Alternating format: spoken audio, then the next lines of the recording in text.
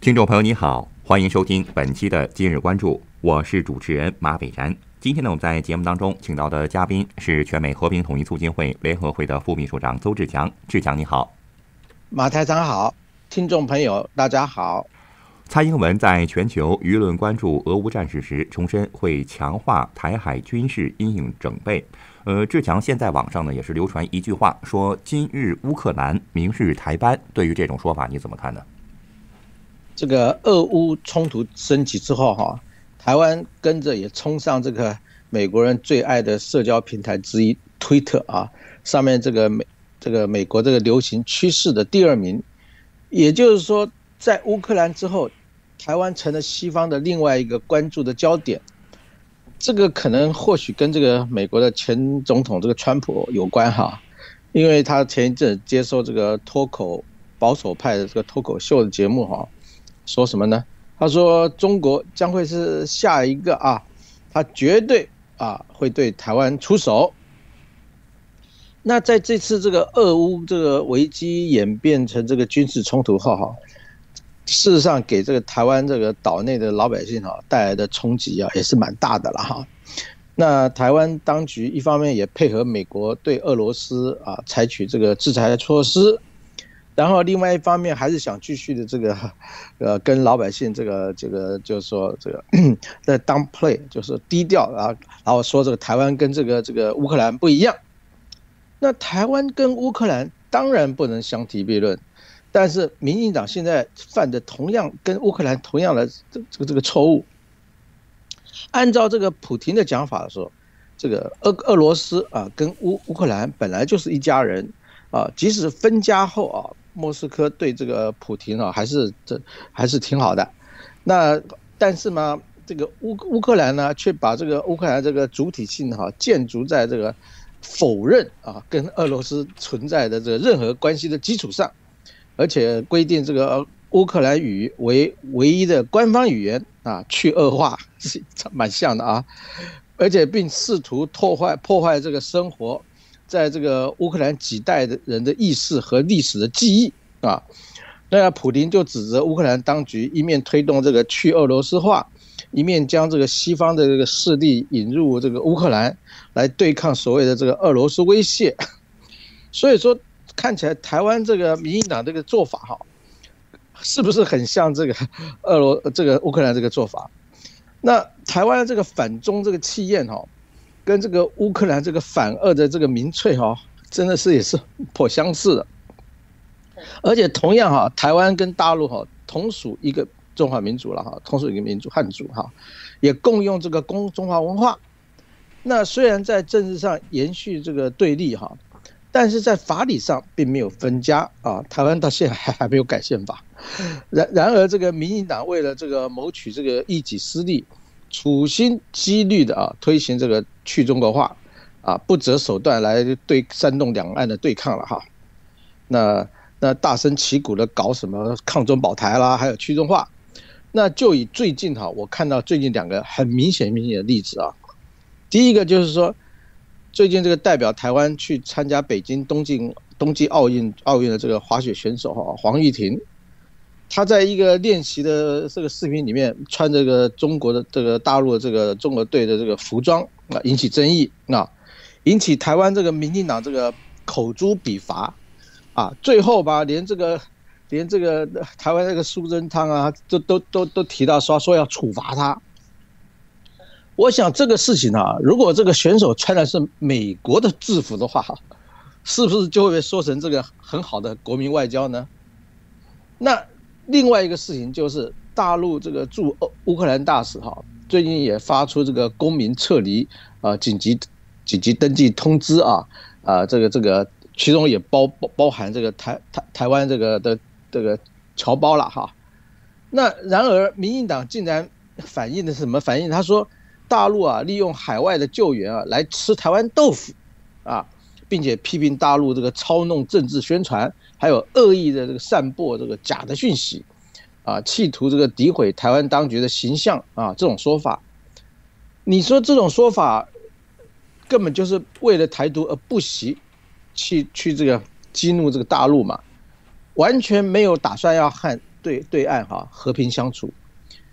民进党如果在去中国化这个问题上哈不知道收敛的话，两岸的人民哈在感情上啊只会越走越远，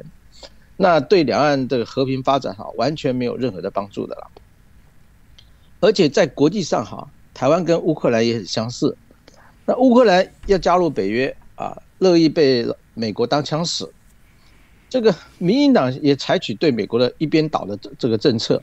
要配合美国要打台湾牌，那民进党。不仅极力的购买这个这个美国的武器装备，而且还不断的叫嚣说这个大陆很快就要攻击啊啊台湾啊，来引起这个其他国家这个这个同情和支持。所以说，在这个民进党的宣传之下哈，有很多很多的台湾老百姓哈相信哈，这个到时候美国一定会出兵来保护台湾。然而，美国不但不是美台湾哈，不但不是美国的正式盟友哈。美国也从来没有承诺过啊会出兵啊帮助台湾，那这次这个美国总统这个这个就就说啊他不会啊不会不会派军队去这个乌克兰跟这个俄罗斯战争，他说因为俄罗斯是这个核武国啊怕引起这个第三次世界大战，那在二月二十四号美国这个白宫发言人哈也也在这个。呃，发布会里面说啊，说什么呢？他这个说在美国任何的情况之下啊，都都绝对不会去出兵乌乌克兰。那面对记者质疑哈，这个这个白宫发言人也说了，这个不存在，绝对不存在这个出兵的情况啊啊，任何情况啊都不会出兵。这个如果说民进党哈不不吸取这个乌克兰的教训的话，一旦这个两岸摊牌的话，美国愿意和大陆直接冲突吗？台湾这点应该好好的三思了。那为什么民进党一再一再强调这个台湾不是乌克兰啊？不要混混为一谈。原来因为蔡英文现在每走的每一步哈，都是乌克兰走过的，他就是怕老百姓的想的想想往那边想去了啊。所以说蔡英文现在的态度哈，和乌克兰的总统这个泽连斯基的态度完全一样啊，粉饰太平啊。更可恶的还说。爱台人士的这个忧虑是假的，是假消息啊！影响这个台湾这个这个社会民心士气啊！说这种心态不得了，不应该啊！那 蔡英文也说过，说今日的香港哈，就是明日的台湾，来挑衅这个大陆啊！如果说蔡英文不自量力的话，继续这个抗中保台，这个同样乌克兰的下场，可可能也会发生在台湾。所以说，民进党事实上，他他事实上他也心知肚明的，说台台独是不可能的了哈，他只是利用这个台独来获取这个政治利益啊，呃呃，甘冒这些风险哈。所以说，在此哈，奉献台湾这个当局哈，操弄民意哈，破釜缝合的这个民粹主义是没有什么用的啦。最好的就还是谋求两岸这个和平这个解决之道啊，才是真正这个确保这个两岸这个老百姓这个平稳的的生活啦。台湾陆委会的主委邱泰三二十五号强调呢，说就国际地缘战略地位上来看呢，乌克兰无法和台湾比。第一呢，台湾是处于第一岛链当中最重要的中心点；第二呢，台湾在全球供应链当中呢，无论是半导体等方面呢，都是非常的重要；第三呢，台湾和乌克兰的地理情势不同。志强，你怎么看待邱泰三的说法？呃，台湾跟乌克兰的地理情势 的确是很大的不同了啊。从这个土地面积来看。哦，乌克兰的确没有办法跟台湾比，因为乌克兰比台湾大太多。那乌克兰的土地面积大概有六十万平方公里啊，是台湾的这个十六倍多。那所以说，台湾事实上比乌克兰还要危险，因为土地的面积和经济规模来对比的差距的话，哈，比较在就以这个二零二零年的这个这个 GDP 来说的话，哈。俄罗斯的 GDP 大概是乌克兰的十倍，那大陆的 GDP 是台湾的二十二倍，那大陆的经济规模跟台湾的这个差距哈，大于这个俄罗斯跟乌克兰的差距。那台湾而且土地啊远远小于啊乌克兰，因此大陆如果要制服台湾的话哈，远比俄罗斯要制服这个乌克兰容易得多啊！你想一想吧，我们这个高雄到台北南到北哈。这高速公路啊，有时候还还停停州的话，这个四个小时就结束了。你想，就四个小时的这个长度，你说 要打起来是不是就好像打一个城市一样？南到北就这么就就就就这个样子了？你说 的的确是很蛮容易的啦。那当然也有人说，这个在地理位置上，台湾这个有这个优势哈，因为有一个这个台湾海峡。台湾海峡虽然是隔离两岸哈，但是最最近来这个这个新式武器、新式的战争哈。即使，呃，尤其这个对岸这个海空军的实力哈，又是这个快速的增长哈，这个海峡的屏障的效用哈，也相对的这个减低。台湾的确是不能靠这个这个台湾海峡屏障来做这个作为做一个借口哈。那至于提到这个台湾的半导体，最近这个美国啊，还有日本啊，还有一些不是都，哎，美国特别就是几乎就是强硬，就是你必须啊。这个这个这个签这个在美国设厂，为什么呢？他就是因为对台湾这个安全哦不抱信心。如果有信心的话，他干嘛要到美国去设厂呢？啊，所以说本身他对这个就对你不不摆没有信心的嘛。那 乌克兰跟这个台湾之间还有一个很重要的区别哈，就是乌克兰更愿意为自己挺身而战。你看看这两天的发展，就发现乌克兰啊老百姓根本这这个这个这个每一个是持持枪为为了这个跟跟跟俄罗斯干到底了啊！显然他们这个也是蛮蛮蛮为了保护自己的国家，也是很很很很很这个很很认真的啊。那根据这个《远见》杂志一月的民调哈，倘若台台海两岸开战的话，有百分之五十一点三的民众。不愿意上战场，或者让自己家人上战场，仅仅百分之四十愿意，而且最可笑的是，是这些市这主要市战年龄哈，从年龄层级来看，层次来看哈，二十岁到二十九岁的的人哈，不愿意上战场的比例最高，高达百分之七十，这些就是所谓的打仗的精英呐。那因为原因是因为民进党哈。这个跟这个年轻人宣传说宣传说，说是他宣传当兵哈，浪费时间很大。那偏偏这群这个年轻人哈，也就是最自称抗中保台的。所以说，虽然民调显示哈，多数人希望这个恢复这个征兵制，不不信这个蔡英文哈，怕得罪台湾这个年轻人的选票，他不敢实施征兵制。所以说，如果战争来了，自己的精英年轻人都不愿意上战场。打仗是靠士气，如果没有士气，那民进党还大声喊个这个抗中保台，不是喊假的吗？而且在国际这个外交认知上，哈，乌克兰在国际上有一百八十个邦交国，台湾却只有十一个，啊，名不见经传的这个小小这个邦交关系。那而且乌克兰是世界上这个大部分。主流国家都承认的这个独立啊自主国，甚至连俄罗斯啊都承认啊乌克兰的主权。那俄罗斯跟乌克兰是因为国际的问题上发生冲突，美国和西方国家理论上是可以这个进行干预的，而台湾不一样，世界上主要的大国都承认一中原则，啊，台湾是中国的一部分，两岸这个争端啊。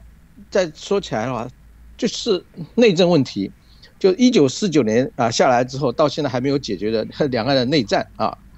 这可能会造成两岸如果发生战争，那西方即使愿意进行这个军事直接的介入或干涉的话，也在名义上是有困难的，毕竟他们口头上都承认是一个中国，这也也就是台海局局势哈，跟乌克兰的局势不本质的不同。所以说，出兵支持台湾，在法理上就有一些站不住脚。这这一次嘛，乌克兰总统一直发兵啊，发文求救兵，可是却没有一个国家肯直接派军队哦去跟这个乌克兰并肩而战。那台湾居然还有百分之五十六的的人民相信啊，那些没有邦交的关关系的这个国家哈会来派兵来救援台湾啊。所以说，台湾这些年轻人他基本上他不愿意打仗，为什么呢？他认为，到时候反正美国会来帮忙嘛，我们不用上战场。你这种思维真的是蛮可怕的啊。那乌乌克兰局势升级升级之后哈，在今年这个在最近这二月二十二号，这个美国这个国务卿啊，也跟这个大陆这个外长王毅通话啊。那这一次的通话哈，美国这个对对大陆这个态度哈，比以前好的很多啊。这也是受到当今这个国际这个形势所所所趋了。那美方这这这是明确的提出啊，他这个美方这个反对台独。那美国这一个表态哈，其实让现在的民进党当局哈很慌张了。那原来的底气哈，也就是 就消失了一下哈。那对他们本身的实力哈，因为他们本身实力根本就是不够的了哈。如果失去美国这种帮助的话啊，民进党是不敢乱来的了。所以说，美国对民进党的支持力很大，那过去给民进党很大的信心，现在美国自身这个重心要要转移，那对台湾的态度也会产生转变，可见美国这是对台独的示警哈，啊，也再次证明这个美国为了本身的这个利益哈，随时可以放弃台湾。那所以说，台湾应该应该引以为戒啊，要避免这个刻意这个挑起冲突啊。啊，怎么样维护两岸间的稳定啊？保持这个良性的互动啊，不要被他国当成这个下棋的棋子哈，也不要让这个台台湾的老百姓哈成为这个战争下的这个受害者。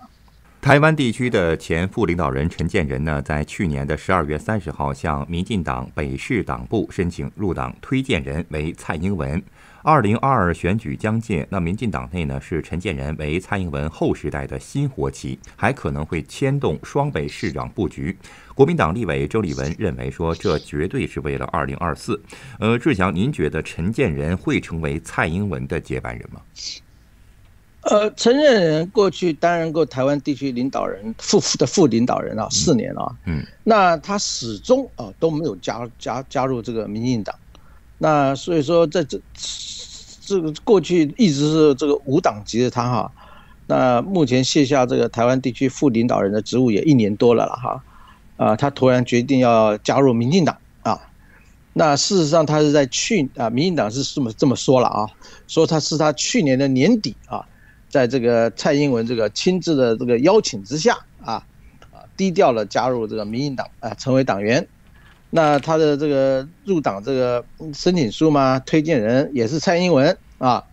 所以说这个陈建仁入党之后哈，有可能就是延续这个小英路线的这个不二人选啊，因为他在社会啊，还有党内啊这个声望和地位哈，无论是这个防疫指挥官呐，台北市市长啊，台湾这个行政机构负责人呐，或者是民进党党主席啊。甚至是二零二四这个台湾地区领导人的接班人选啊，可能都是这个民进党这个最强这个活棋啊，更是这个后小英时代啊政治布局的不可缺的要角。那陈建仁的入党哈，是否的的的这个议题哈？当年提名这个陈建仁做台湾地区副领导人的时候啊，民进党就曾经问过他要不要入党啊，考虑他是是是是不是应该入党。但是那时候陈陈建仁那个就决定呃不不不加入，所以说这个这个蔡英文考虑后就决定这个尊重这个陈建仁的这个意见了哈。那现在时隔六年多啊，陈建仁为何选择这个时候入党呢？这个亲近陈建仁这个民进党的高层也说哈，一直一啊一啊是这个蔡英文亲自邀请他入党啊。那陈建仁为了表达在位这个四年哈对这个蔡英文的认同和支持啊，决定入党啊。如今嘛，把这个陈建仁纳入纳入了这个党的机制的话哈，就是要布局这个后小英啊时期的开始啊。除了这个台北市市长啦、防疫指挥官啦、行政这个机构负责人呐，这个这些这些职务哈，都是可能的活起啊。而且在党党务部分啊，也不排除先啊让他做这个中常委，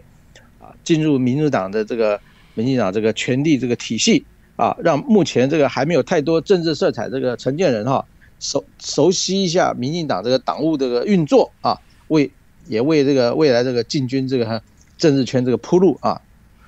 呃，那因为这个民进党这个当局这个领导人蔡英文哈现在身兼党主席。他必须承担二零二二年这个县市啊选举的这个成败啊，那二零二四年这个接班人哈，还有民进党这个这个执政这个任务啊，这个陈建人哈就是这个蔡英文的这个好战友，那他的户籍哈早在这个副领导人的时候哈就已经迁入这个台台北市大安区。啊，所以说入党后他有可能去这个参选台北市啊，也有可能去接任这个行政院呃行政机构的负责人啊啊，甚至可以攀这个的这个大位啊，所以说看看起来哈。这个这个陈陈建仁的入党哈，对对对蔡英文而言哈，啊可可以说是要要延续这个小英派的政治基础哈，因为小小英到时候他退下来的话哈，到时候都没有若若没有人接班的话哈，他可能而且他这个就可能会丧失这个话语权啊，又又以陈建仁和小英这个默契的话，还有这个陈建仁在这党内的声望，让他来接续这个小英的路线哈。这这是他这个这个这个这个布局的这个原因之一了。促转会呢将会在五月任期届满解散。行政院长苏贞昌表示说，接续工作由政院设置推动转型正义汇报接手，院长担任召集人，业务则由法务部、文化部、教育部等部会承接。国民党抨击呢说，苏贞昌把业务纳入辖下部会，直接不演了，促转工作将会更加的没有公信力，绝不容忍黑机关及转型正义之名行打击异己之实。志强，你怎么看？这个促进转型正义委员会哈，是从二零一八年成立哈，两度啊 延延长任期，那今年的五月哈提出这个呃总结报告啊，将于这个五月啊这个任期届满解散。那台湾这个行政机构这个苏贞昌啊，马上在二十四二十四号通过这个这个促转条例啊这个修正案啊呃这个要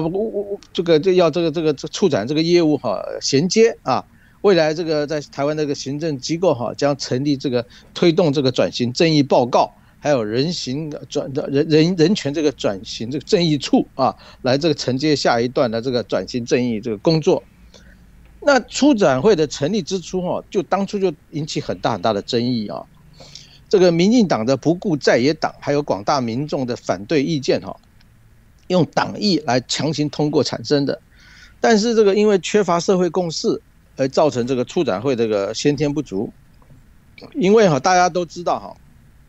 这个促展会内部的成员哈，几乎全部都来自啊绿营，那这样子能够代表这个两千三百万这个人民吗？根本就是毫无代表性啊！呃，更何况哈这个促展会的过去啊、现在还有未来，都是为了艺人的意志而而成的这个有心人士之中的这个这个之之中这个这个这个东厂。更的显显见，这个出展会就是一个政治打手，引起这个社会各界极度的这个反感。一个毫无社会公信力的委员会，怎么会让他继续这个运作呢？又有什么脸面啊？继续说要拼政治啊？换一个方位想，这个出展会这个政治破坏的举动哈，如果民进党将来丢掉了这个执政权的话，难道不怕新的政权会用啊其人之道来反其？